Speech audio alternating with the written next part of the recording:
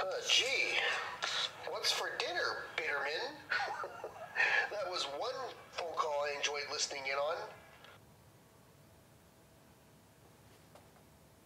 It is now 5 o'clock p.m. Anytime, anytime, oh, anytime now.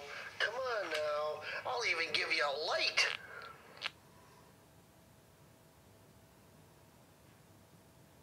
Right, 6:32 p.m. Still not. Still not. Still not.